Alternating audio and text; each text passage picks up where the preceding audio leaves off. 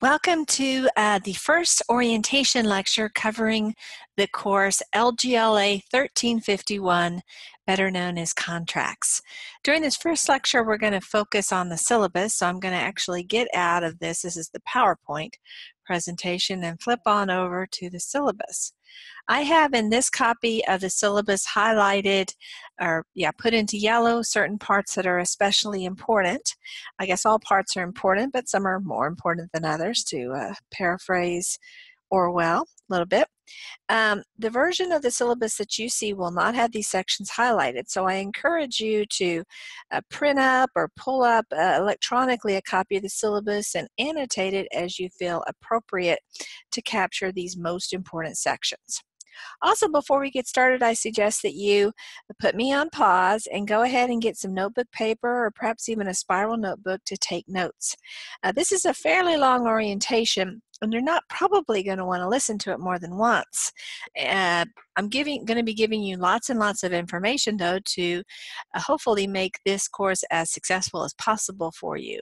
And what I don't want you to have to do is, you know, you forget a certain one. Gruver said something about this during the orientation, but I can't remember what she said, and then you end up having to rewatch a lot of videos.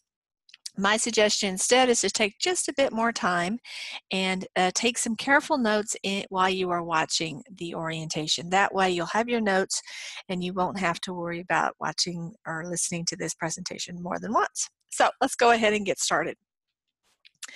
Um, the, the uh, depending upon the semester that you're taking the course, the, the, syllabus may be different in terms of the actual dates or things like that, but the parts of it will be very, very similar. On the first page, really the only part of the syllabus that you're going to be that interested in, honestly, is going to be the withdrawal date. Um, this will be the withdrawal date whether you are in, or whatever uh, course you're taking, if it is a semester long course. In other words, a 16 week long course, if this is during the spring or the fall. If you are taking over the summer, it would be any summer three or 10 week course that will be the withdrawal date that you see on your copy of the syllabus. Now, this is an important date to be aware of because if you decide, let's say in early March, that gosh, uh, you've won the lottery, you've decided to retire to the south of France, and you're not going to be taking any more paralegal courses, well, it would be smart to go ahead and drop the course before you uh, move to, to France. Um, if you wait until after the date, in this case the date is March 22nd, it becomes quite a bit more difficult for you to withdraw from the class. Now certainly I hope that you don't want to withdraw from contracts, um, but I know that things happen in life and sometimes that is a good choice for students. But please don't withdraw because you don't think you're being successful in the course. Um, I'm glad to pro provide some additional support. Many times I have seen that students may think that they're doing poorly in a course when in fact they're doing quite a bit better. So if you're not sure how you're doing in a course, please don't hesitate to, to talk, talk with me. Give me a call during my office hours or stop by and I can give you a sense as to where you are in the course and also provide some support so that you can be successful. Nothing will have happened in the course by March 22nd that we can't work through and get you to a place where you can be successful in the course. Okay, let's continue on. The second page of the syllabus has a lot of technology information. Um, so we're going to fly by that. And then we'll get to the section where we talk about the instructor specific information. You'll see we have my particular office location. My office is in the library building on the Frisco or Preston Ridge campus. Uh, depending upon how you'd like to describe it. It's on the second floor, room 232. Below that are my office hours. Um, I typically have two types of office hours. One is your traditional office hour where I'm actually in my office in the library building. And you're welcome to come to my office hours and physically be present there, or you can call during my office hours. If you choose to call, my telephone number is down here. Another way, though, you can participate in office hours is via Zoom. These are virtual office hours. What you'll do is you will go to, um, if you are, have an Android phone, you'll go to this link right here. You'll click on it and you'll go into a room, a virtual room, where you can um, uh, participate in office hours with me. I can see you, you can see me. We can share documents over our computers or smartphones or whatever we happen to be using at that time. If you use an iPhone, then there, this is the way that you go about um, accessing the, the, the, Zoom virtual office. Right now, I'm actually using Zoom to tape record this, this uh, uh, lecture, so it's a, a very user-friendly tool to, uh, to um, use for these purposes. Um, I've never had a student who has been unable to use Zoom, but things can happen and let's say you do encounter a problem feel free to email me during my uh, virtual office hours and we'll figure out what's going on so that you can be sure to meet with me and get the information that you need. In addition to my traditional office hours like I have here and I have sorry that I have here sorry and that I have here sometimes I also have my office hours in different locations you can see in this particular semester, I'm having office hours in the Associate Faculty Office in LH. LH is a different building than L building. LH stands for Lawler Hall. It's also on the Frisco campus. Um, it's in the same classroom, excuse me, same building where most of the paralegal classes are on the Frisco campus. I do it here because there's a class immediately before that, excuse me, immediately after that class, and many times students find it more convenient to stop by my office hours if it's in the same building where the class is, and so that's why I uh, make my office hours there from time to time. So always be sure to check when you see the office hours, the location, and also the way that I'm having the office hours. Okay, so let me go to the next section. Here's some contact information. As I said before, this is my office telephone number. It will work when I am right here. Obviously, it won't work when I am here, and it won't work while I am Zooming because I'm going to Zoom almost always from my home. I am in my office very little time. I work a lot of hours, but I don't work in my office a lot of hours. I mainly work from home. I've got kids and other responsibilities, and so it's just more convenient for you for me. As a result, my telephone number isn't that helpful outside of the office hours. So in this case, really you know, it'll be about an, two hours a week where this is a good way to reach me. Here we go, here and here. Um, so instead of leaving me a voicemail if you don't catch me during those times, a much better approach is to send me an email.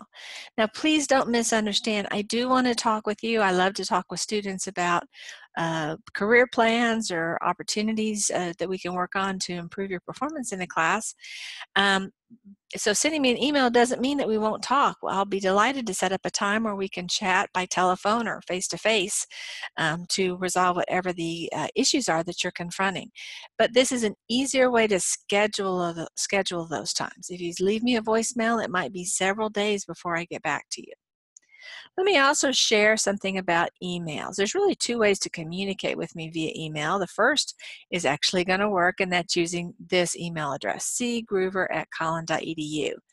But there is a second way you can attempt to communicate with me. And if we see here on Canvas, let me go back to home so you can see that um, location. There is a box over here called Inbox. This looks really tempting. Click on it and you'll be able, actually we can't click on it right now apparently, but ordinarily if I wasn't in student view, um, you'd be able to click on this and we'd be able to send messages back and forth. Lots of students like this, lots of instructors like it. There's nothing inherently wrong with it. I do not happen to use this tool. And unfortunately, I'm not able to turn it off for the class. So it's there, but please don't use it. I'm going to ask that you pause me right now and go ahead and write down in your notes, do not use the Canvas inbox.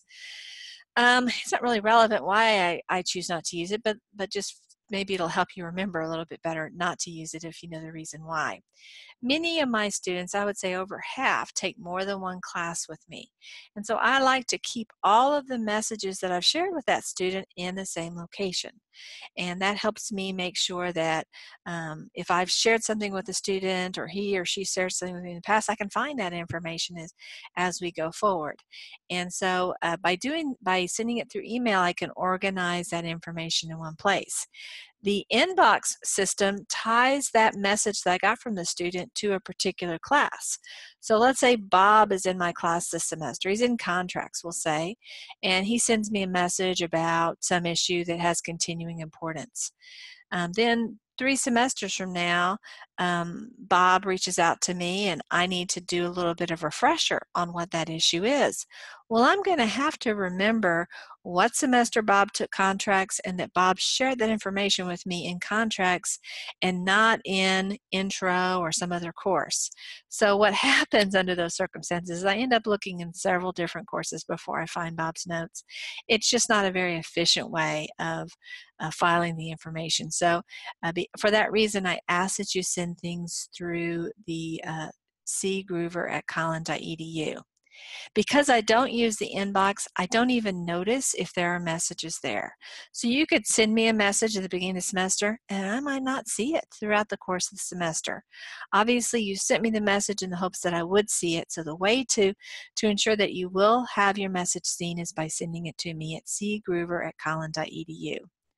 I'm a little compulsive about my emails. For those of y'all that have sent me messages, uh, probably 90% of the time I respond uh, within minutes of the student send me an email message or very, very quickly. If I'm in class or asleep, for example, I'm not going to, but I, I'm uh, pretty consistent about uh, responding very quickly. If you don't hear from me within 24 hours, it probably means that your message somehow got lost or mislaid or something along those lines. The one uh, time, though, that you might not hear from me sooner is if you send me a message over the weekends. Um, I am not handy over the weekends. Uh, my family and I spend most of our weekends in a remote location in a lake house. Um, we do not have cell phone reception. We don't have internet. It's intentional. We don't want to be uh, using technology during that time. And so um, from Friday afternoon through Sunday, if you send me a message, I probably won't see it till Monday. And so uh, you're welcome to send me the message, but just keep in mind that when you want to communicate with me um, or you think you might need to communicate with me, better that you do that probably sometime on Thursday um, or early, early Friday to make sure that you get that response that you need. Or it may, if it keeps until Monday, then that also works. Here is our textbook, The Law of Contracts and the Uniform Commercial Code. The author is Tepper, and the current edition, I believe, is third. Um, you uh, certainly can buy the most current edition. You can also buy an earlier edition. I'm not aware of the author having uh, made dramatic changes to the content of the textbook, so that's a way to save a bit of money.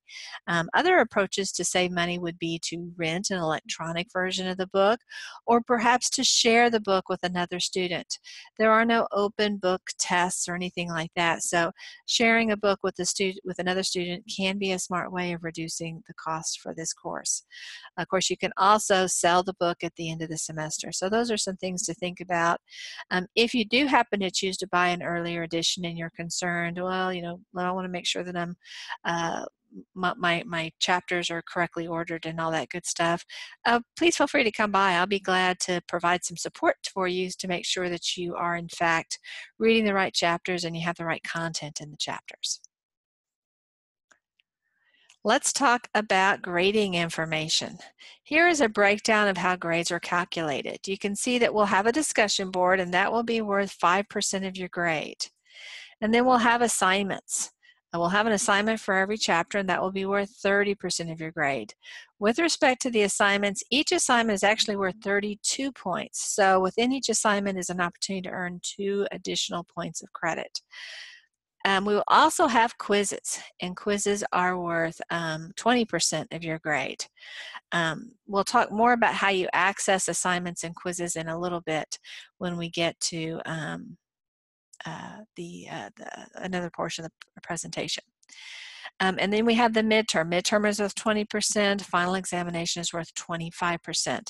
So a little over half of the course is tied up with um, tests, and the other half is uh, activities that you'll do on a chapter basis. Before you get bogged down though into the specifics of the course, we have an orientation quiz. This is intended to be a, uh, I mean, it's, it's a it's an easy quiz for one thing. If you are paying attention and listening to the orientation material and reviewing it, you'll do great on the orientation quiz. If for some reason you don't do well the first time, you can take it up to three times um, during the, the course of the semester. Let me just show you where you'll find that orientation quiz.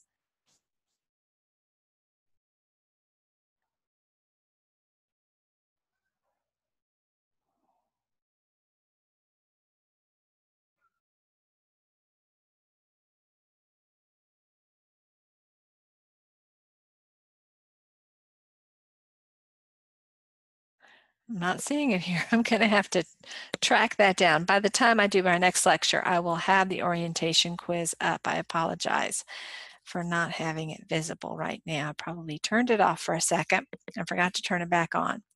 By the way, um, while I've taught this course um, for, this is not our, my first semester teaching it, um, invariably there's going to be moments where uh, things have been changed or or things along those lines. So if you see something that isn't the way you expect it to be uh, feel free to reach out to me send me an email uh, sharing with me what you think might not be the way that it is. I'll look into it and if it ends up that you're right i'll make the change and if it's not i'll give you a little bit of an explanation uh, to hopefully clarify what you're seeing. So that's always a good thing to keep in mind. Uh, we're on a we're a team here. This isn't an adversarial situation so uh, we ought to uh, be available to help one another out to make the course as successful as we can. Let me go back to the syllabus. Um, let's talk about how you participate in the discussion board.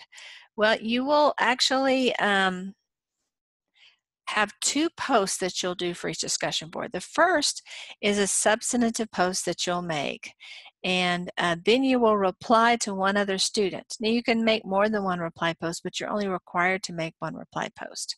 In your first post, which I'm calling the substantive post, you'll need to list your word count and you'll need to end, and you'll need to for that word count to be at least 100 words. If you don't list your word count, you're going to get an automatic deduction. If you don't have 100 words, you're going to get an automatic deduction.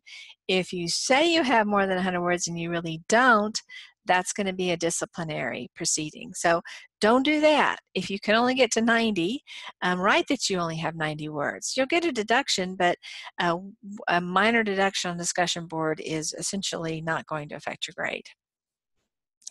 Your second post needs to be at least 40 words long. You don't technically have to count or, or do the, the word count for that, but you certainly can if you'd like to. Let me show you how the discussion board is set up. So I'm just going to go to an example discussion board. The first discussion board we have is um, in chapter one, and it's just an introduction board, so I'll open it up here. You'll see that um, there are um, instructions about how to do it. So there's a little reminder within the context of each discussion board, so you don't have to remember how many words you have to have or things along those lines. The instructions will be with the discussion board. Um, and so here I have an example of how you might make a post here. So um, I uh, uh, respond to the prompt, I am Professor Gruver, I, I, am drawn to paralegal studies because I find the law very interesting, to me the law is a puzzle, yada, yada, yada. Go on to the end, then you can see at the end I include the word count. And then I pretend that I'm responding to somebody in the class, and you can see here I have more than 40 words. I don't list the word count because I don't have to for the second post, but before I finished posting it, I did count it. So here are some, uh, here's an example about how to proceed. So how do you make your first post? Well, the first post you won't, until you make your first post, you won't be able to see any of the other posts. That's so that you don't cut and paste some other person's creative endeavors and uh, subtly change it and, and claim it as your own. All you have to do is just click on this reply button to get started. So even though it's your first post and you're really not replying to anything, you are going to hit reply to start. What you're basically doing is replying to the prompt that we have. So that's what we do for the discussion board. We'll have a discussion board about um, every other module. I think it's generally going to be on the odd numbered modules.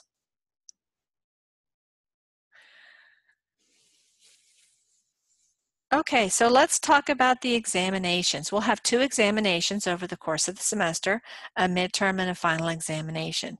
You'll have two ways that you can take the final examination in the midterm, and you don't have to, to do them both the same way if you don't want to. Um, most of y'all, perhaps even all of y'all, will choose to use the Collin Testing Center. Um, and even here you have some choices though. What I will do is I will submit the test to the Frisco a testing center, the one in Founders Hall. It's a computer-based uh, test, so you won't need a Scantron or anything. When you go to the testing center, all you'll need is your student ID. A driver's license will not work for identification purposes, so be sure you have that student ID and you'll go ahead and take take the test. If you take in the Frisco Center, it's easy peasy. I've submitted it there. There's not going to be any problems with you completing the test. But let's say you want to take it on the uh, uh, Plano or the McKinney uh, Testing Center. That's also fine. Let me tell you how that's going to work. Um, when I turn in the test, I'll be turning it into the Frisco Center, but I will also alert the Frisco Center that um, it should be shared with the other testing centers. Most of the time that happens seamlessly and students are able to take the test on whatever campus they want. Every now and again there's a glitch. I'm not sure what happens that causes the glitch. Maybe it's someone at the Frisco Center, maybe it's someone at the other centers who misfile it or, or whatever might happen. But every now and again, uh, somehow or another, the test doesn't get set up in the other location. For that reason, before you go to take the test at the Plano Center or the McKinney Center, I encourage you to call ahead. Hey, I'm Bob Smith. I'm going to be taking the uh, LGLA 1351 midterm or final exam. Just want to confirm that you have it. Um, if you're planning on taking the test on Tuesday, you probably should call ahead on Monday just to make sure that it's there. If it's not, then of course you can um, ask them, uh, here, here's some strategies to do if they say, don't know what you're talking about. The first strategy is just to say, well, I'm, I'm, my instructor definitely made it available uh, to, to all the testing centers. Would you mind checking again? You wouldn't think that would work, but more often than not, they find it once you urge them to look one more time. So that's one possibility. But let's say that doesn't work. The second possibility is to ask them to contact the Frisco uh, testing center and to resend it or to maybe send it the first time if there was an error in the transmission. That should solve the problem. But let's assume that the testing center is uh, not able or willing to do that. Well, then at that point, you can get me involved. But I want to give you a couple caveats. Um, if it's over the weekend and I'm at my lake house, I'm not going to be available. So you'll want to make sure that you've gotten all these issues resolved well before the day that you want to take the test. That's especially necessary if you want me to get involved in it. Of course, at the end of the day, it doesn't really make a difference because let's imagine it's that weird scenario where you're planning on taking on the Plano campus and somehow or another they don't have it there and they're not willing to uh, to call the, the Frisco campus to, to have it sent be sent over. Well, what are you going to do then? You're going to go to the Frisco campus. I mean, it's a 30 minute drive. There's not a major issue associated with doing this. It may be inconvenient, but it's certainly something that you can go ahead and accomplish. So don't spend a lot of time worrying about it if there's a, a glitch along those lines, although you certainly can reach out to me. Uh, so that's how it's going to work if you choose to use one of the Collin testing centers. The other choice is to use um, ProctorU. Um, the midterm and the final exam have to be proctored, but they don't have to be proctored in a face-to-face setting. And ProctorU is a remote proctoring service. There are some things, though, that make it um, sometimes a little problematic for folks, and I want to be candid with you about some issues that can come up. The first issue is that it is something that the student pays for. It'll be anywhere from about $9.50 to about $31.50. Um, so it's not a free service for students. Um, many times what initially draws students to use the Proctor ProctorU is they think to themselves, oh, I can save some gas money or I can save some babysitter money. Probably ProctorU if you're local, ProctorU is probably going to be more expensive than whatever money you would have saved. Now, obviously, if you're in a different city, let's say you're in Houston or you are in San Marcos or um, College Station or something like that, you may well find that, well, yeah, it would be cheaper to use ProctorU than to travel all the way up to uh, Collin County. So there can be financial incentives, but for most folks, it's not going to be helpful from a financial standpoint. Okay, so that's the first thing, the finances. The second thing is you need a computer that is compliant with what a ProctorU needs in terms of its system. That's usually not a problem. As long as your computer is reasonably recent, it's going to likely meet the requirements. Um, the one challenge can be is that you do need a webcam. Um, but beyond that, your system is probably not going to be problematic from that perspective. If you do have children, you will need to have somebody taking care of them because they can't wander in and out of the testing room.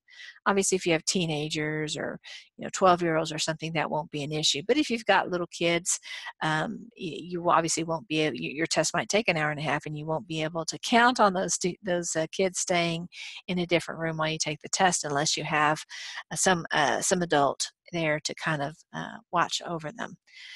So, how do you make the request for ProctorU? Well, you need to make it before uh, more than 10 days before, or at least 10 days before the test window opens. So let me just show you on this syllabus when the test window opens. The test window opens for the midterm on this resume, on this, um, excuse me, on this uh, uh, um, semester on March 18th. So that means that you would need to contact me by March 8th. For the final examination, the window opens May 13th, so you need to contact me by May 3rd. If you contact me on May 4th, it's too late to take ProctorU. If you contact me by May 9, March 9th, it's too late to do the midterm by ProctorU, although you can still do the final examination via ProctorU. The reason that I need 10 days notice is that you need to do some stuff and I need to do some stuff, and ProctorU needs to do some stuff. It's not an automatic process. We need to have some conversations, some emails back and forth, um, and I need to um, work with ProctorU to do a few things. So um, we all need to kind of work together for this goal. Now, if you're thinking to yourself, gosh, ProctorU sounds like a good deal for me, what you ought to do is pause me right now and write me an email right now. Go to that Collin, excuse me, uh, uh, send me an email at cgruver at collin.edu. Make the request right now so now you don't have to worry about it. Okay.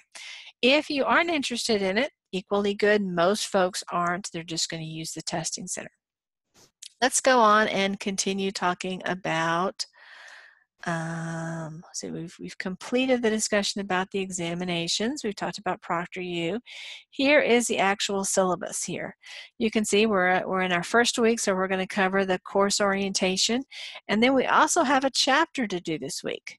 If this is a long semester, meaning it's either the spring or the fall, most weeks you're going to have a single chapter. If it's over the summer, it's very common to have two, sometimes three chapters that you need to cover over the course of a sem- over a course of a week. But even during the um, long semesters, we have some weeks that will have two chapters. This one, for example, this one, for example, and then there'll be one down here. So um, there's a lot to cover over the course of the semester. Be sure to follow this to make sure that you're covering all of your particular dates uh, along the lines here. So I have the wrong date here. I apologize. Let me make that change right now.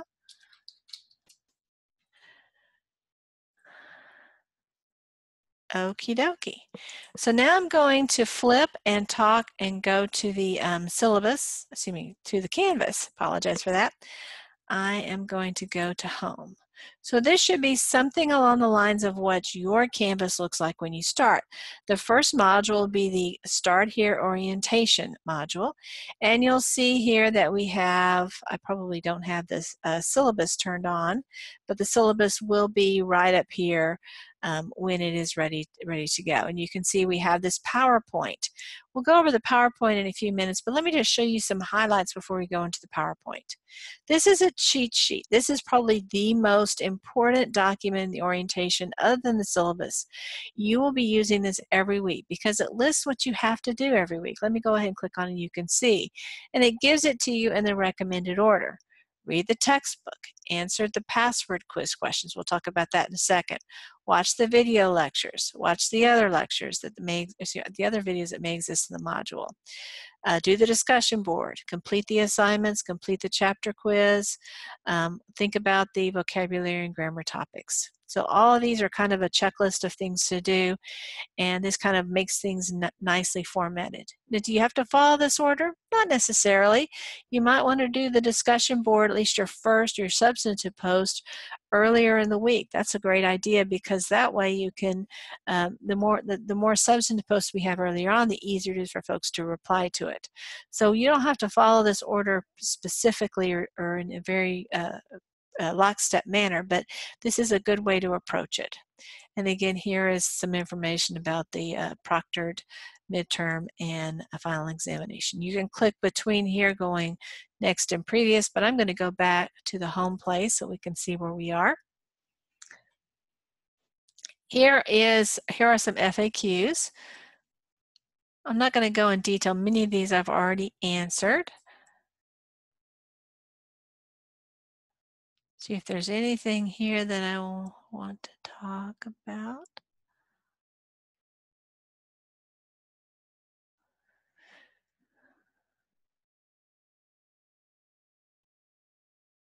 Extra credit. I do have some extra credit available in the course. Um, as I said before, the assignments, each one of the assignments has some extra credit associated with it. In addition, we have the extra credit LinkedIn activity. I'll talk about that in a couple of minutes. It's also not unusual for me to provide additional extra credit. If you want a credit beyond the stuff that I've already posted, you're welcome to reach out to me with a suggestion. The things that have to be true about your suggestion are going to be these. It has to be something that everybody has the opportunity to do, and you have to give uh, me and, and the rest of the class significant notice. So if it's, say, a presentation that's happening tonight, or tomorrow, that's not enough notice for folks. But if it's something that's going to happen in a week, then that would be an example of something that you could say, hey, what can I get extra credit for this? And again, I'm not guaranteeing that I'm going to give extra credit, but um, that is certainly something that um, I'd be willing to entertain. Um, and if you let me know. What's not that helpful though is for you to say, can I get some extra credit? Come with a proposal and I'll be glad to consider it at that point. Let's talk about some strategies that might be helpful in terms of using Canvas. You know, we've all dealt with technology and sometimes it can be a real bear to deal with. Very, very frustrating when things aren't going well. It's happened to you, it's happened to me, it's happened to us all. And there's few things in life more frustrating than that. Here are some strategies that are worth your consideration. Now, of course, the problem with these strategies are um, you're not going to have access to this PowerPoint unless you can get inside Canvas. So what if your problem is you can't get inside Canvas? There's something circular about that, right? So my suggestion is to take a picture of this or to write down these various strategies or to print up or download, print out or download this particular PowerPoint or just maybe, or this particular FAQ um, or this particular page of the FAQ. So you'll have this information available. Um, so these are things worthy of, of you taking notes, pause and, and take those actions. Let's talk about them. One way is just to restart your computer. Maybe that will solve the problem. Another thing would be to try a different browser. Google Chrome is the most reliable. That's what Canvas will say is best. But Firefox is fine, Safari is fine, even Internet Internet Explorer can can work fine. Um, I find that, uh, of course, I do kind of some more behind the scenes stuff. I find that, I, that Google Chrome is, is the best, but there are a few things that Firefox works better for me on, so it depends upon the circumstances. Another approach is just to use a different computer. Maybe your um, Wi-Fi is unreliable where you live, or maybe your computer's a little bit dated. You can use maybe a compute one of your friends' computers or a family member's computers, maybe the computer at work, or you can use one of the computers at the computer lab.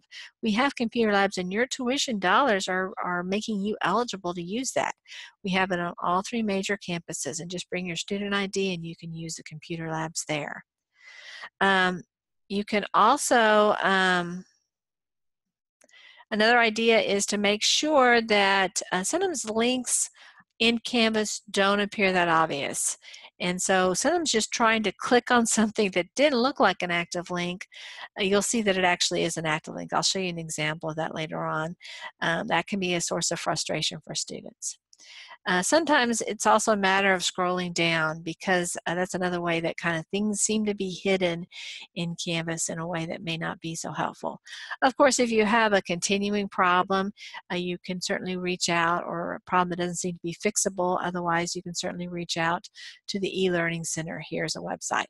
I am also glad to help. Um, if I didn't cause the problem, I'm probably not going to be able to fix the problem. I am not a computer guru, but I'm happy to lend my expertise expertise, limited though it may be. If you've got a laptop and you seem to be having a problem with your laptop, bring it in and I'll be glad to look it over and give you my thoughts about what might be at issue. Uh, so that's information about the FAQ.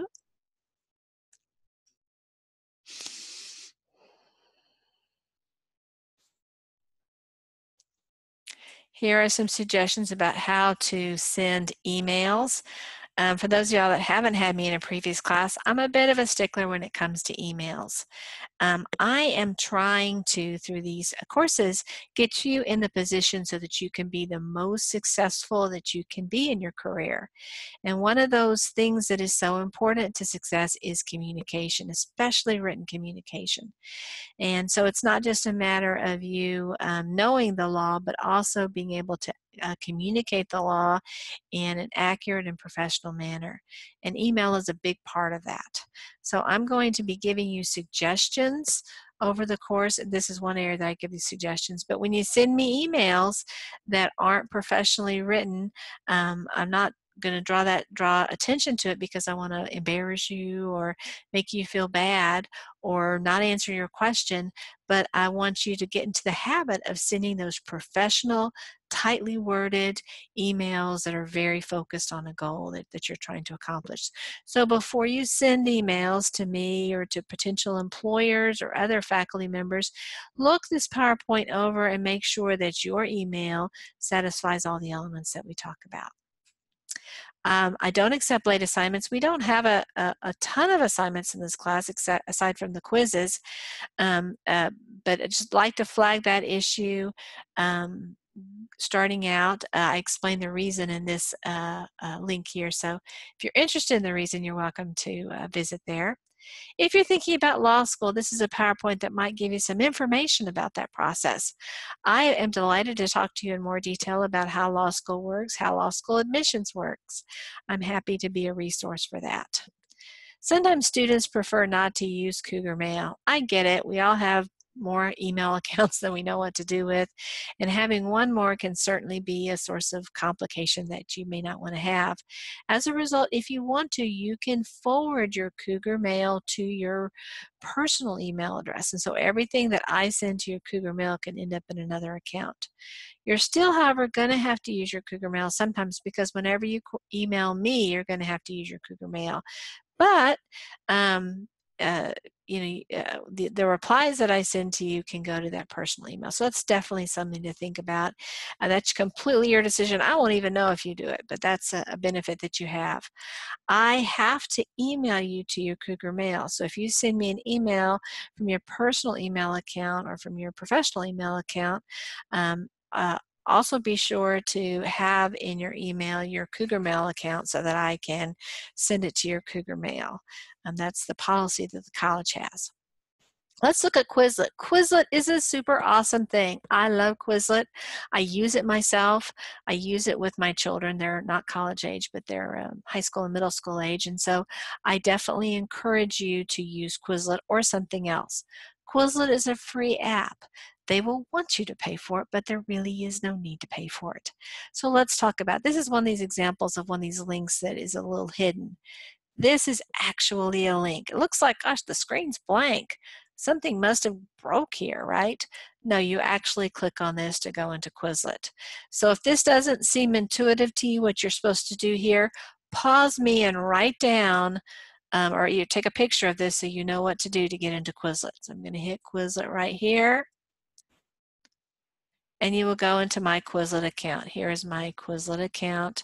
You'll see lots of different things. Um, this is for contracts. um, Hannah Duncan was a student in our program um, a few years ago. She was very detail oriented, so I know that she did a very good job with these. And you'll see she has them for many of the chapters. Sonia Turner is um, a law student now, also very detail oriented. So these are very good resources for, I think, probably every single chapter in the course. And so what you can do, let's say you're working on chapter seven. Well, actually, let's pick one with a little bit more. Let's say chapter five. So we have lots of vocabulary terms here. There's various activities you can do. You can use a flashcard so you can test yourself. What is mutual assent? Um, you can flip it over. Oh, mutual assent is a meeting of the minds, consent agreement. You can also look at all the lists here.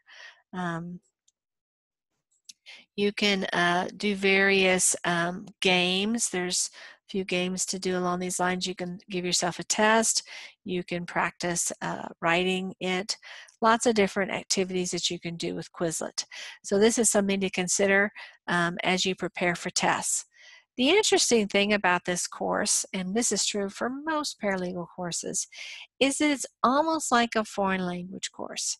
If you um, somehow or another tomorrow morning wake up and you've somehow or another learned in your sleep all of the vocabulary that we have in this course, you'd probably find that this course is embarrassingly easy because the challenge is, is understanding the words. Once you've got the words under control, the rest of it is pretty seamless.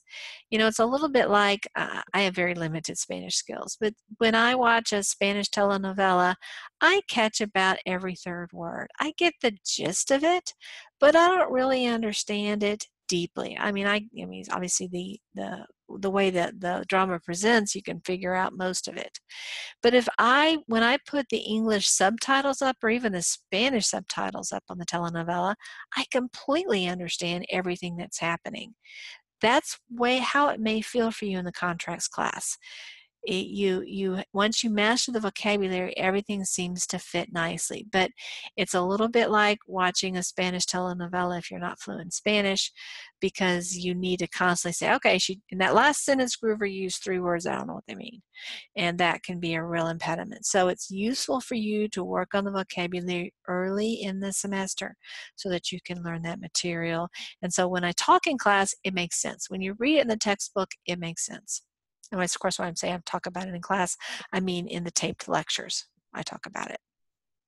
Another thing about this class, and this is related to vocabulary, is that you know what? Our brains are not designed to learn a lot of vocabulary. My guess is we've probably all taken a foreign language course, and if you're like me, you probably had a few days where you were maybe cramming the night before. And it's really hard to learn 40 new French words or 40 new Japanese words um, in one evening.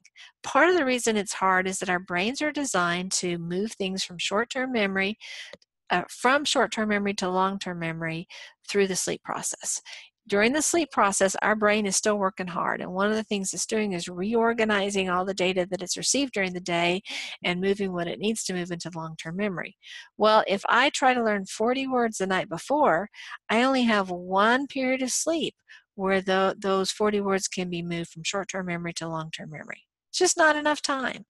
But let's say I spent two hours memorizing those words. If I instead spent 20 minutes a day for the six days before then, in other words, the equivalent still of two hours, but actually had six periods of sleep, um, I'm going to find that I have a much higher retention rate of those 40 words than if I had just done it in the one night. And so for that reason, it's a good idea to go ahead and uh, space it out over time. It's working smarter rather than harder. And again, the lectures are going to make more sense and be more meaningful once you learn the vocabulary terms. Okay. Here's that extra credit that I was talking about. So I'm going to go into LinkedIn. Actually, maybe I have a link here to LinkedIn. You'll see that this extra credit opportunity usually is going to close around the end of the semester.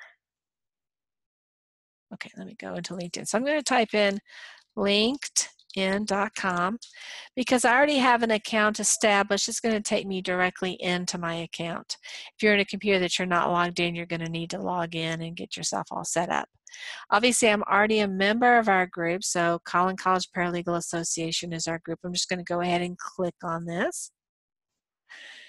And you'll see lots of different postings we had. We'll see it's primarily job postings, but there are a few other things. For example, I'm inviting people to join the Paralegal Advisory Committee. I provided information about the Texas Bar. Um, there's some information about legal writing, but most of it is about um, various and sundry uh, openings.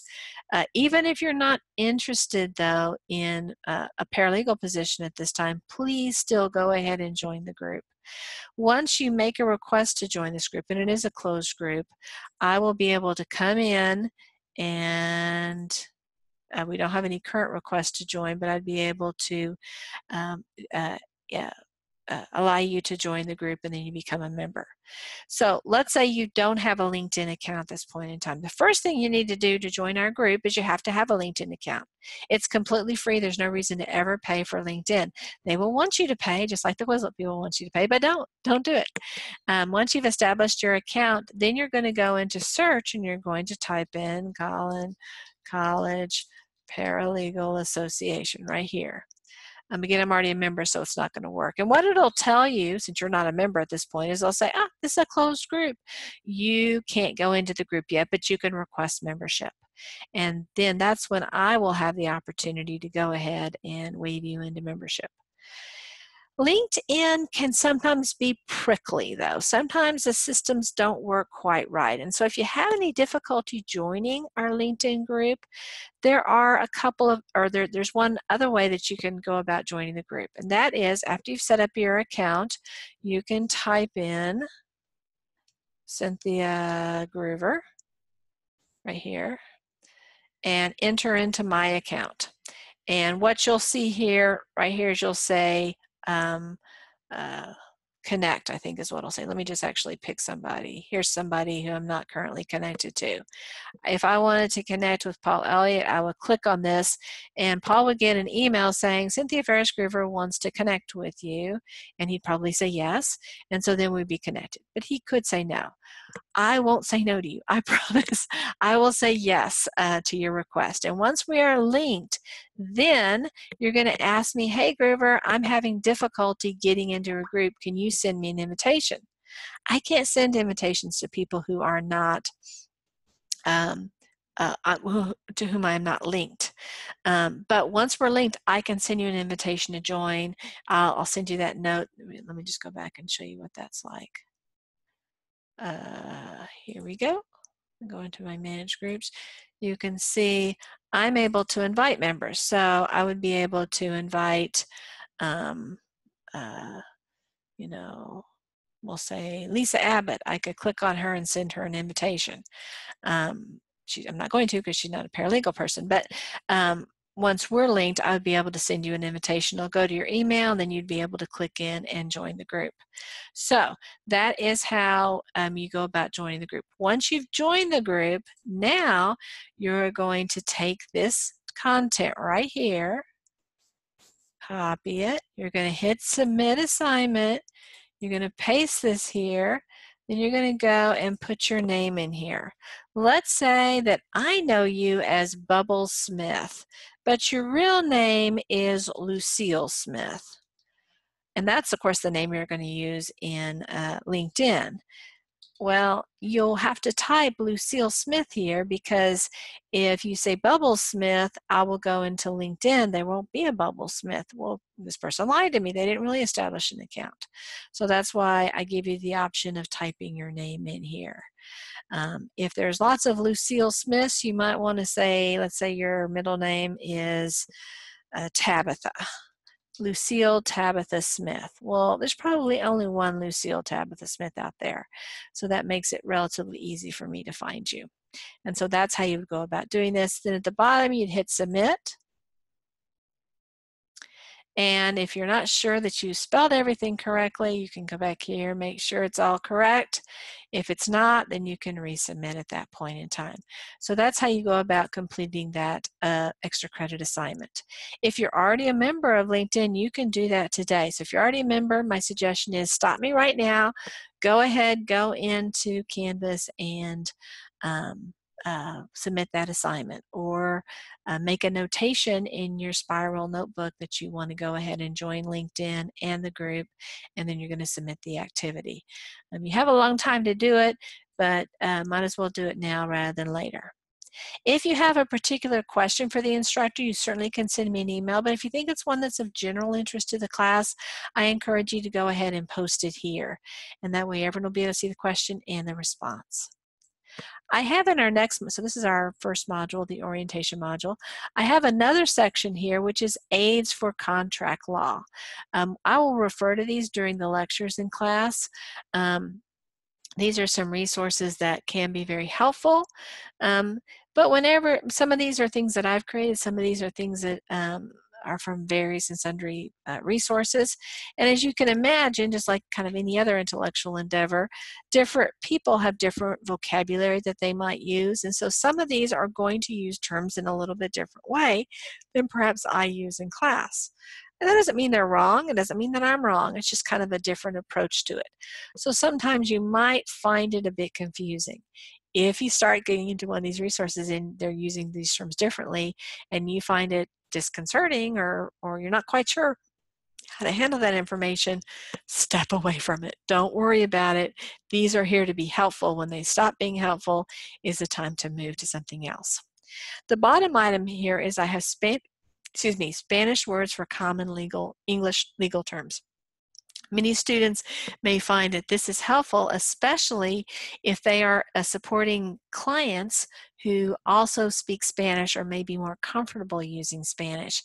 And so these, this can be a good resource for you. They're not specifically contract law oriented.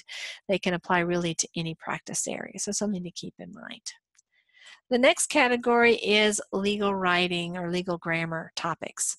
And I say legal, I just really should, it's just English grammar stuff.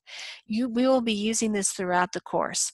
One of the things about contract law that is so important is that every word that you write in a contract, every comma, every space, whether it's plural or singular, all of those things impact the way the court is going to interpret the contract. There is really no document um, other than contracts or, or that is more important that you be very very precise than contracts. Wills would also fit in this category. These are documents that have inherent legal effect and so it's really really important that you understand the rules. Uh, there are cases out there where the misplacement of a comma has cost uh, a, a client millions of dollars so this is a big deal stuff. Getting this stuff right is really really important and so we do cover a fair number of grammar topics and every single chapter includes a little bit of grammar, plus we have um, in a later chapter a more concentrated uh, focus on grammar. So here's the overall approach that we're going to have on grammar. And you can see here we have um, topics. Oh, here we go. Let me so we have um, in our first module, we're going to cover topics one and two. Let's say you, you watch these two lectures and each one is just about five minutes long. If actually this one you can see, this is only going to be three and a half minutes and this is two minutes long. So it's in combination, they're about five minutes long. Let's say you look at these and you go, you know what, I'm not quite sure I've gotten about collective nouns. Well, you may want to use some of these additional resources to, to deepen your knowledge. Let me go to module one and show you how that's all set up. So under chapter one or module one, you'll see that I have the um, noun basics uh, SAT Grammar Bootcamp here. And then I also have a, a, worksheet for you to complete. It's not for a grade, you don't ever have to complete it. And if you really feel like you are very, very comfortable with mastering this topic, then you probably don't need to complete it. But um, sometimes it's easy when you're passively watching a lecture for everything to seem to be making sense, and it really isn't making sense in as deep a way as it needs to. And so I encourage you to go ahead and complete this form. Let me just show you what it looks like. Again, there's no need to submit it. There's no opportunity really to submit it. So you'll answer these few questions and then you will go and look at the key. The key is right below it and you'll see how many you got right. If you got the, the vast majority of them right, you're probably in good shape. If there's a few that you missed, it, but you understand why you missed it, you're still in good shape. If you aren't quite sure why you missed the ones that you missed, come see me. I'll be glad to support and give you assistance in that matter. So that's the grammar topic. There is no grading associated with it within this module, but it will be graded or there will be questions on this on both the midterm and the final examination. And these are actually the most commonly missed questions by students. So definitely, definitely pay attention to this. Do this every single week. Okay, so before you watch the lectures, and you can see here I have two lectures, you're going to want to give a peek at this quiz. Um, let me first of all, uh, let me just read you the name of it because it's a little bit confusing not for a grade password quiz for chapter one. You may say, well, what do I care about a quiz that's not for a grade? Well, it's not for a grade directly. What you're going to do is, let me just open up so you can see what it says here. Let me just show you what the questions are. You have to leave student view here. For a second, I'm going to leave student view and I will show you a preview of the questions. So the first question is, in chapter one, the instructor explains the com that, that the common law puts great emphasis upon fairness, predictability, and evolution. In the next slide, she adds that consist she adds that consistency is, and she provides a symbol. That symbol is, and you're going to write that word here, whatever that symbol is. And then you're going to pick one of these uh, choices here. Okay, so this is designed to make sure that you watch the lectures. One of my concerns and one of the things that the ABA wants me to do is make sure that you're actually participating fully in class there will be the temptation sometimes for you to just read the chapter in the book and not watch the lecture. Uh, but the reason that the ABA has approved us to have these online courses is because they know that they can count on us to deliver as close to that face-to-face traditional classroom experience as possible. And for that reason, I am uh, going to have these password questions. And if you uh, read the chapter in the textbook, but don't actually watch the lectures, in most cases, you're not going to be able to figure out what the answer to these questions are. But what you're going to do is you're going to know what the questions are, then you're going to watch the lectures. And when we get to that pay, place where it's talking about consistency, you'll look and you'll say, oh, yeah, that's the answer. You'll make a notation at that point. Once you're done with the lectures, you'll go back and you'll answer those quiz, those questions. Again, this won't count towards a grade, but what it'll do is unlock these two activities. After you've got it unlocked, you can take the uh, you can take the chapter 1 assignment and you can also take chapter 1 quiz. Now the chapter 1 assignment there's really no rush on. That will be due at the end of the semester. But the chapter 1 quiz you have to do that week. So if you don't watch the lecture, you're probably not going to be successful in the password quiz, and so therefore you're not going to be able to take that quiz. Missing one quiz is not a tragedy. We're going to have, I think, about 16 quizzes, and each quiz I think is maybe, let me just confirm this, is maybe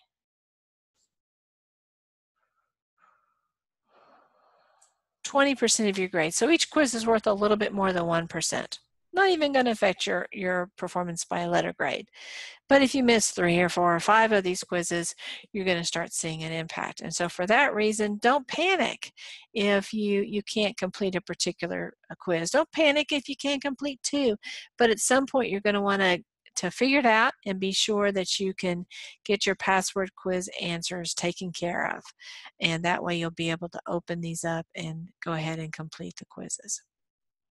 Okay, um, so you're going to watch this uh, or look at the, give a peek to the password quiz, then watch the lectures. Let me go back to the student view. So you're going to uh, give a peek to the quiz, watch the lectures. There, I also have the PowerPoint available for you. And I have the PowerPoint um, for the first chapter in PDF as well. You can um, the rest of them are just going to be in, in the uh, Microsoft PowerPoint application, but you can change it to a PDF if you want.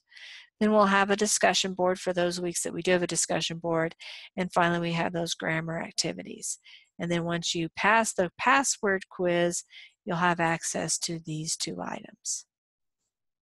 And that's the pattern throughout the rest of the um, uh, material. Down to after chapter 8, we're going to have the midterm. Here's information about the midterm. Um, and here's some additional resources for working on those grammar issues. Um, the midterm is going to be about 10% devoted to grammar issues, and they are the most common issues that we miss. So in addition to the help that's provided in each one of the chap in each one of the modules, you have some additional resources that are available here. Um, for support. And again, you're welcome to come see me for additional support. Sometimes these grammar topics can be tricky. They're important. They're important to master, uh, both for the test as well as just for you professionally but um, especially if if that isn't hasn't been your strong point or you uh, maybe haven't attended grammar school in many years you may need quite a bit of a refresher to get back on track with these items we also have some additional uh, grammar and style issues that we cover in chapter 17 and in some sense chapter 18 and then our final chapter is chapter 19. We cover all the chapters in the textbook with the exception of chapter 16. That is an extra credit chapter that you're welcome to do if you would like. And then here's some information to prep you for the final examination. I also have resources, just kind of general legal and paralegal related resources that you might find of interest here. Um, at this point, I'm going to um, briefly cover, I guess I'm thinking I'm going to be able to cover all of our topics, which is awesome. I'm going to go into the PowerPoint. I've covered most of the topics I want to do in the PowerPoint uh, throughout the presentation, so I'm going to jump through many of these topics relatively quickly. Of course, if you want to go back and look at this PowerPoint in more detail, it is posted in the orientation material, so spend more time with it as you see appropriate. And of course, if you have questions, come by and see me. I'll be glad to talk with you in more detail about these topics. Uh, welcome. Hopefully I've said this before. Um, I'm delighted to teach this course. I find contracts very, very interesting. It's interesting when I talked to uh, Professor Wagoner um, in the previous uh, uh, full-time instructor we had, Professor Griggs, when she was here, both Professor Wagner and Professor Griggs prefer torts. I like torts. I really do like torts, but I have to say I really love contracts. So I'm so delighted to be able to teach this course. I hope that I'm able to convey some of my enthusiasm for this topic um, over the course of the semester. As always, if you have questions about the material, either about how the course is set up or specifically about the topics that we're going to be covering, please don't hesitate to reach out to me. I'll be glad to provide whatever assistance I can. If you haven't met me before, this is what I look like. I don't have bangs right now, but this gives you an overview. Um, I have been an attorney since 1990, so I've, I've spent quite a bit of time in the legal profession. I uh, initially worked for a large law firm that's based in Houston called Baker Botts, and then I went to work for a corporation in Plano, uh, that's J.C. Penney. Uh, most of my career, I practiced labor and employment law. Um, I've also been a litigator, both in the labor and employment law area and other just kind of general commercial litigation.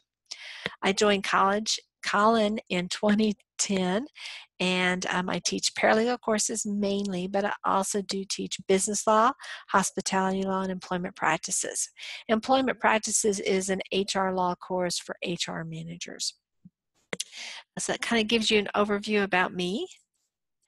Um, my office, as we've already talked about, is in L232. Um, come to see me when you need help with course materials, but I'm also glad to provide help with professional goals, uh, with educational goals such as law school, um, and also with resume help. Here's the textbook. We already talked about that. Uh, you do need to watch the lectures. Um, the lectures will cover Texas specific information in many cases that you'll be responsible for. So definitely take that seriously. And of course, you'll have to watch the lectures to get the passwords to be able to get into the assignments. I encourage you to kind of one, spend maybe 20, 30 minutes kind of wandering around Canvas to get acclimated to find out where everything is. Again, that cheat sheet function um, in the orientation module is also very, very helpful. Here's some an orientation guide. If you haven't taken an online course before, you're not that familiar with Canvas, this can be really helpful. If you haven't already, be sure to read that syllabus.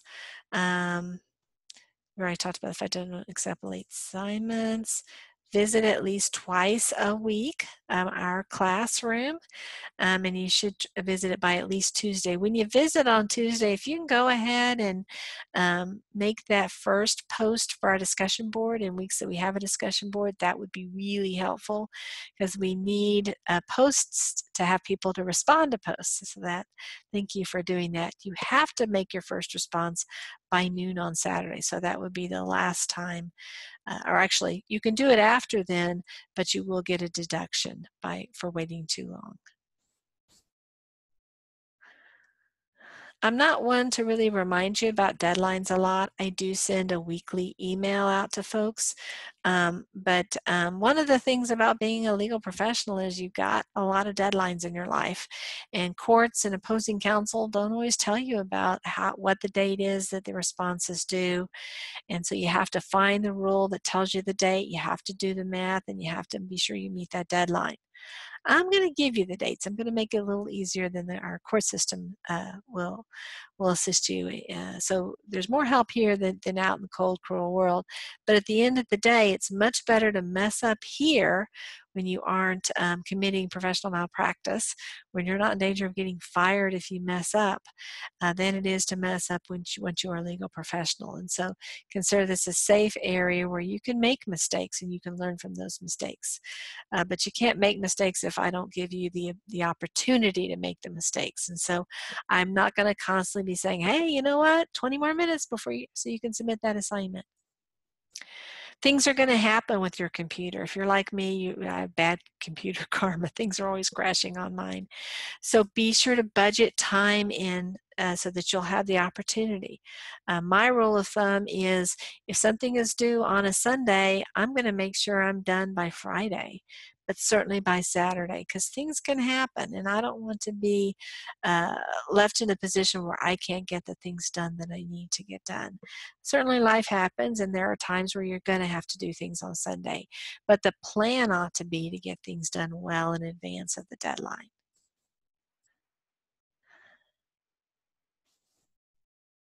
Here are some, uh, this is, uh, and I showed you where the email communication uh, PowerPoint is, but here are a few things to keep in mind when you send an email. Look at that too, but here are some things to get yourself started.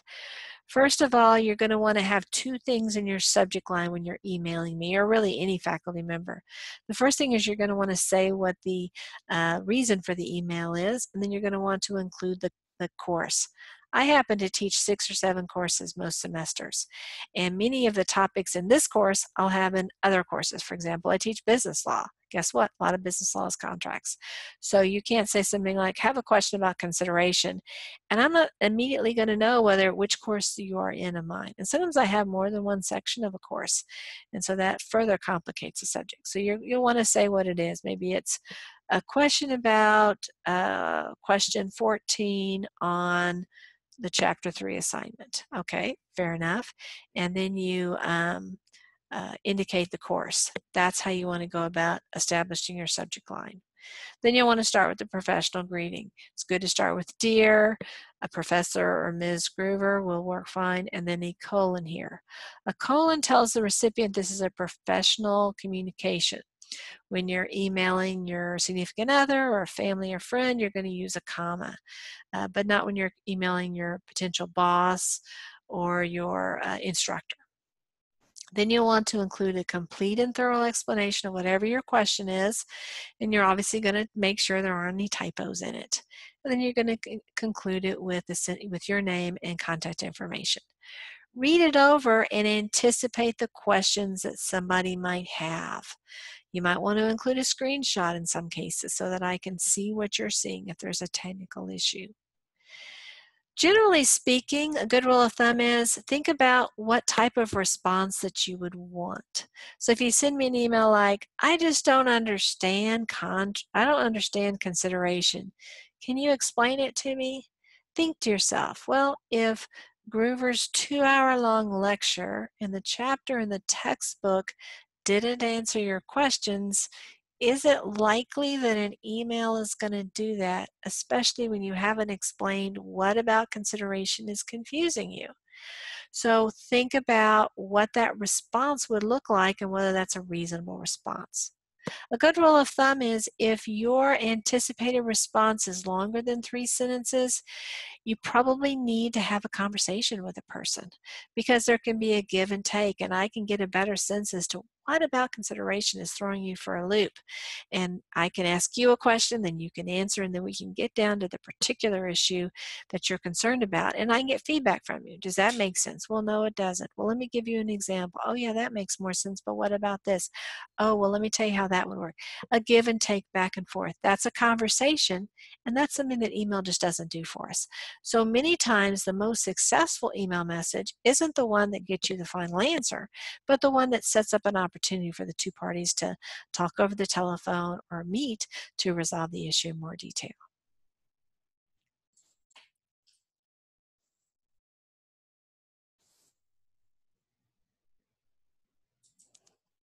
Here's a breakdown of the grades. We've already talked about that, so I won't go over that more. And this is an overview of what to do each week in terms of the assignments. Again, this is like that cheat sheet function that we showed before. If you don't think you'll use a cheat sheet, you may want to take a picture of this slide, slide 22. Um, this is a good idea to pause and to go ahead and, and take a picture of this so you'll have this for your records. If you, again, you might want to look at this every single week to make sure you're doing all the different tasks. We've talked about the midterm already and the final examination. Uh, we've talked about class participation, the discussion board. All discussion boards, by the way, close at 11.59 p.m. on Sunday. Occasionally I'll make an adjustment if there's a holiday, but um, that's a good rule of thumb to check. And you'll, you'll be able to see the due dates right below each one of the activities, so you'll be able to see when you need to go ahead and complete it. I think I've covered let's say that you uh, do a particular assignment or quiz and you're curious to see why you missed a certain question. I'm delighted to sit down with you and go over all the questions that you would like. It's very common for students to come and those are wonderful questions and conversation starters. I do not, however, do that by email. You're welcome to come uh, to my virtual office hours or face-to-face or call me over the phone and we can talk through all of the different uh, questions to get your questions answered.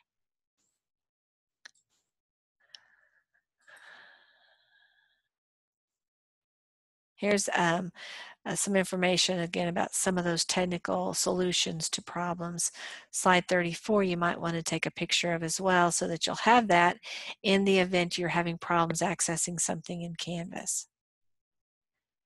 I'm going to, before we end, before we have that great semester, let me just show you a couple more things. Um, here is where you click on to get your grade. Or well, for, first of all, this is where you find the various activities that are due.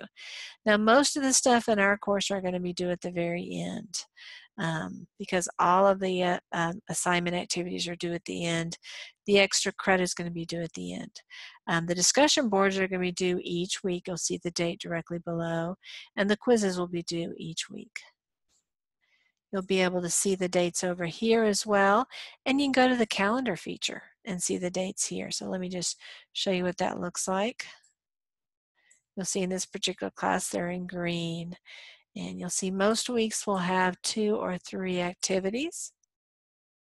Here's two, here's three, here's two, here's one for this particular week. Um, it's a smart idea to calendar all of this early on so you'll be able to plan for it.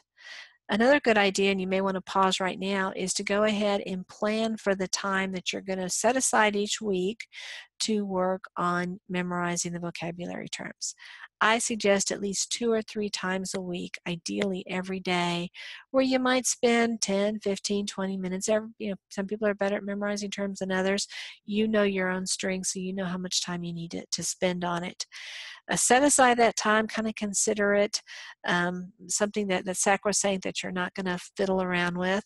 Alternatively, you can have it available on Quizlet so when you're in line at the grocery store or you're riding the bus to work and you've got some extra time um, or you're on your lunch hour, your, your coffee break, and you can flip to these resources and uh, go ahead and go through the terms at that point in time. Again, it's more important you do it often than you spend a particular number of hours on it. I'm going to go back to our course. And here is where you'll find the grades. Let me show you this too. You'll see all of the grades. This information here is very accurate. All of it will should be 100% accurate. Uh, down here though, um, sometimes I, I, I put into the equations or put into the system um, the various percentages. Let's see if I've done that here. Looks like I have. Sometimes I don't. Even when I do put in the percentages saying, ah, discussion boards are worth 5%, assignments are worth whatever percentage, even when I do that, Canvas is not going to give you a completely correct answer. It just won't. It doesn't, it's not robust enough to do that. Um, there's lots of aspects of how I do grades. It's a little bit more complicated than what Canvas can handle. So this information below the last assignment is honestly kind of garbage. If I could turn it off, I would because it's a source of more confusion and anxiety than it is help. But you don't need to look at this. And my suggestion is for you to ignore this. So I'm going to ask that you pause and write down your notebook. Ignore everything below online chapter 19 quiz assignment. Um, you'll have all of this lovely data here. And you can actually calculate your grade on your own because you have the formula right here. Let me go back and show you. It's on the syllabus too. Here it is. So what you'll do is you'll take all of your discussion board grades. If you didn't participate in a particular week, you'll want to take that as a zero. Find the average. Um, if it's on a 10 point scale, you'll want to uh, half that average. If it's not, if it's on a five points, I can't remember if it's a five point scale or a 10 point scale. If it's on a five point scale, you're good to go. For assignments, each assignment is worth 32 points. You'll take the average of all of your assignments, obviously including one that you got zeros on, and that will be your assignment grade. You can see you can go through and do each one of these parts. At the end of the day, you aren't responsible for calculating your grade. That's my job. And so if you find the math daunting or boring to do, you don't have to calculate your grades at all. But many times students are interested in knowing how they're performing in the class. So if you'd like to come by, I will be glad to sit down with you and work with you on how to calculate your grade. Just come to my office hours. I don't do that via email. Um, I'll, I'll, I'll try to help you a little bit if we're doing it by phone or virtual offices, but honestly, it's much, much better to do face-to-face because we'll be writing numbers down and going through various scenarios and that's a little bit um, awkward to do when we're not in a face-to-face situation. But at the end of the day, it's my job to do this, not yours, so please don't worry about it. One thing I will say, I'm glad to help folks with this, but I don't help folks with this during the last two weeks of the semester the week before finals and the week of finals.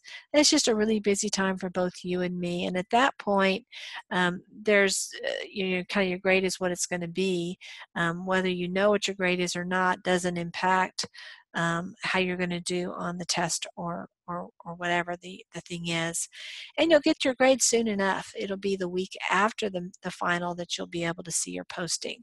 If you think I've miscalculated your grade in some way, then reach out to me after you see your final examination, or excuse me, your final overall grade posted on um, uh, Cougar Web, and I'll be glad to sit down with you and crunch the numbers. Um, I'm very, very careful so it's quite unlikely there's an error, but certainly I'm not infallible. And so if there is an error, I'll be glad to fix that under those circumstances. Okay, so here you'll see all of your grading information. Let's go to announcements.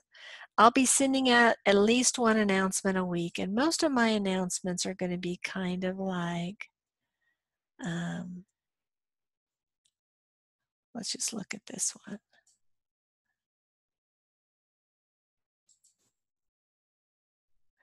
Here's an example of a takeaways from for a particular chapter.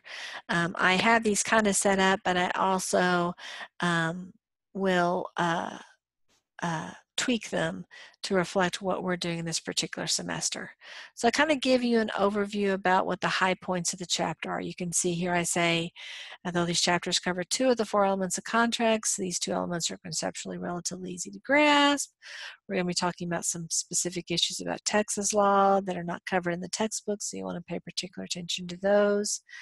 Uh, we're going to be talking about five different scenarios. You'll want to be sure that you understand the similarities and differences between these five. And um, we'll talk about um, some statutory limitations. I've listed these here too. So it kind of gives you an overview, hopefully a schema or a paradigm in which to look at these in more detail. Um, and so this is a helpful thing to look at even before you look at this that first lecture. Um, I encourage you to uh, read these announcements. Typically you will see them on Monday. But if they're missing um, or you don't have an opportunity to see them, there's nothing in those announcements that you won't be able to also gather from the lecture and the textbook. So at this point, I think that we're done. Again, it's been my pleasure uh, covering this material with you. I look forward to a wonderful semester. If you have questions, please don't hesitate to reach out to me. Thanks so much for your attention. Have a wonderful day.